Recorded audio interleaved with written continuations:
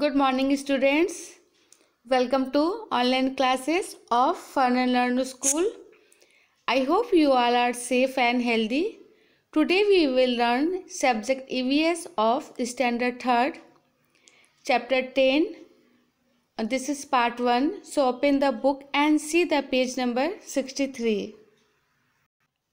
तो आप देख रहे हैं, आपके ये चैप्टर टेन है। चैप्टर का नाम है वाट इज़ कुकिंग ओके?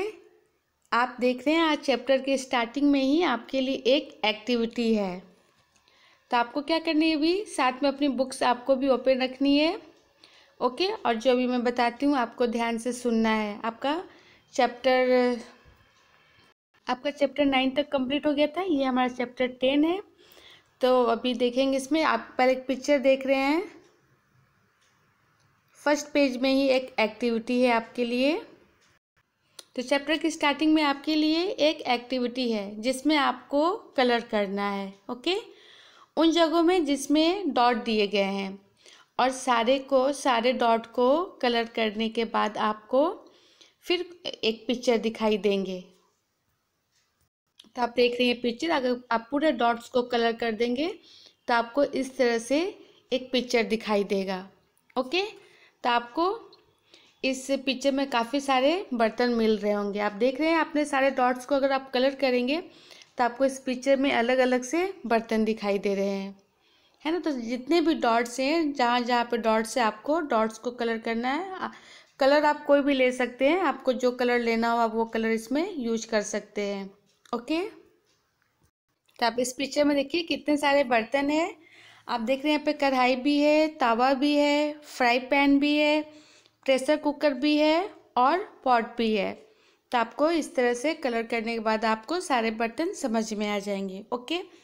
फिर नीचे में देखेंगे बुक्स में। तो आप कलर कर लेंगे, उसके बाद आपको पिक्चर आपको अलग टाइप के दिख जाएँगी। फिर अभी पेज में देखिए, लास्ट में आपके लिए क्वेश्चन आंसर है। तो क्या है यहाँ पे? Look at the picture colour the space which have dots in then what do you see आपसे यहाँ पूछा जा रहा है पिक्चर में जिन जगहों में डॉट लगे हैं, उनमें आपको रंग भरना है ओके फिर क्या क्या आपको पिक्चर में दिखाई देता है, उसकी आपको नाम लिखनी है। तो यहाँ जो ब्लैंक्स है इस पर जो जो बर्तन आपको दिखाई देते हैं, उस बर्तन के यहाँ पे हम नाम लिखेंगे ओके तो यहाँ पे देखेंगे, सारे नाम थे कौन कौन से बर्तन हमें दिखाई दिए थे तो हमें वहाँ तावा भी दिखाई दिया था। ये फ्राई पैन वो भी हमने देखा पिक्चर में। फिर ये पॉट फिर ये कढ़ाई, फिर ये प्रेशर कुकर। ओके? तो आपको जो जो कलर डॉट्स को कलर करने के बाद जो जो बर्तन आपको दिखाई देंगे, आपको उनके नाम लिखनी है। अभी प्रॉब्लम हो तो आप मत लिखिएगा। जब चैप्टर कंप्लीट हो जाएगी तो बाद में सोल्यूशन पीडीएफ आएगी तो आप देख के लिखिएगा। ओके? तो हमारा पेज नंबर सिक्सटी वन तक हो गया। अब नेक्स्ट पेज टर्न करेंगे। Page number sixty two. Page किया आप लोग टर्न। यहाँ पर भी देखिए आपके लिए क्वेश्चन आंसर है। तो यहाँ पर पूछते हैं फ़र्स्ट में in the picture you must have found some that are the use for cooking are there any other use in your house for cooking which are they तुमने पिक्चर में खाना पकाने के कई बर्तन ढूंढ लिए होंगे। ओके आपने देखा होगा ना पिक्चर में तो आपने बहुत सारे बर्तन ढूंढ लिए होंगे। अब आपके घर में इनके अलावा कुछ अलग से और भी बर्तन यूज़ होते हैं तो उनके आपको यहाँ पे नाम लिखने हैं। जो पिक्चर में देखा, उसका तो नाम हमने लिख लिया था पेज नंबर सिक्सटी वन में। पर अभी आपको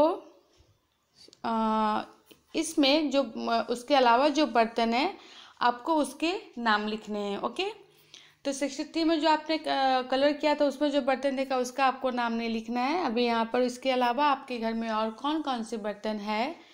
वो आपको नाम लिखना है ओके यहाँ पर तो फॉर एग्जांपल मैं बताती हूँ अभी। तो यहाँ पर देखेंगे फॉर एग्जांपल में इडली पॉट आपके आपके घर में शायद होगा इडली बनती होगी तो इडली पॉट होगा ही। फिर आप स्टीमर भी लिख सकते हैं ओके फिर आपका सॉस पैन हो सकता है बहुत लोगों के घर पे सॉस पैन भी हो। फिर है यहाँ पे तड़का पैन ओके फिर यहाँ पे है ग्रिल पैन तो आ, आपको जो पिक्चर के अलावा जो बर्तन घर में हो, उसके आप यहाँ पे नाम लिख सकते हैं। ओके फिर अभी नेक्स्ट देखेंगे।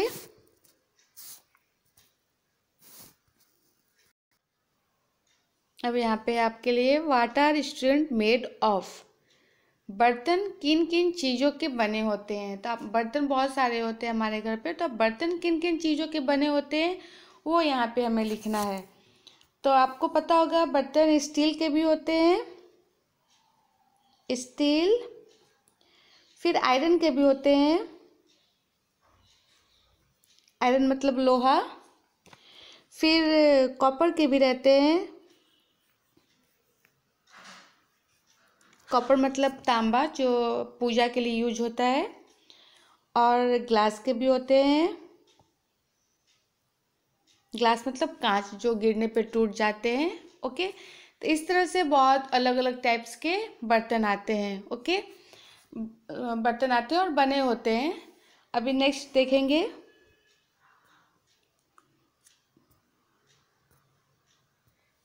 नेक्स्ट है यहाँ पे देखिए ask some elder people what kind of were use early what were they made of तब यहाँ पे आपसे पूछा जा रहा है, अपने घर में से आपको पता करना है कि पहले किस तरह के बर्तन ज़्यादा काम में आते थे?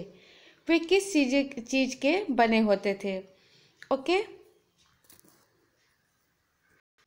फिर यहाँ पे है we do not cook all the things that we eat find out which things we eat raw and which ones we cook before eating which are the things we eat both cooked and raw, fill in the table, given below.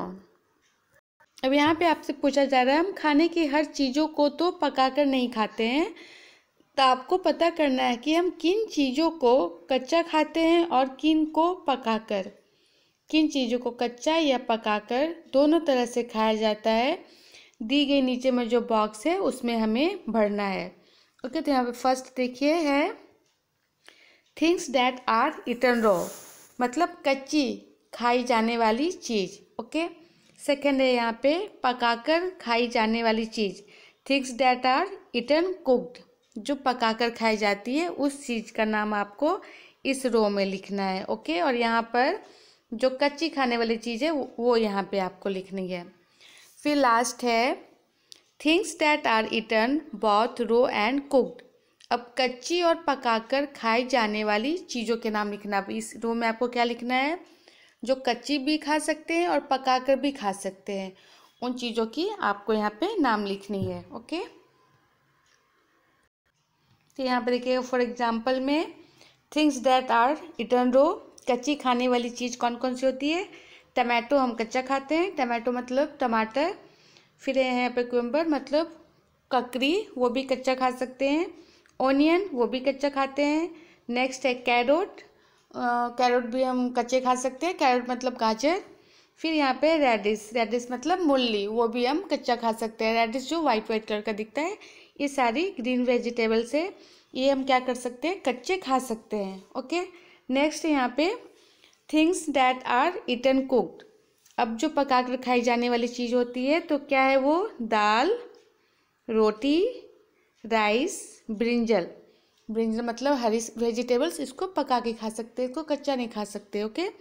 फिर है ladies finger. फिर ladies finger भी हम पका के खाते हैं। फिर नेक्स्ट यहाँ पे लास्ट वाले में है कच्ची और पकाकर खाई जाने वाली चीज़। जो कच्ची भी खा सकते हैं और उसको पका के भी खा सकते हैं। तो उसमें फॉर एग्जांपल हो जाएगा टमाटो ओनियन कैबेज कैरोट और इसमें भी रेडिस हो सकता है। आप इस तरह से बहुत सारी चीज़ आप यहाँ पे नोट डाउन कर सकते हैं, जो कच्ची और जो पका कर हम खाते हैं, ओके? तो हमारा इस पेज में हो गया। अभी हम नेक्स्ट देखते हैं।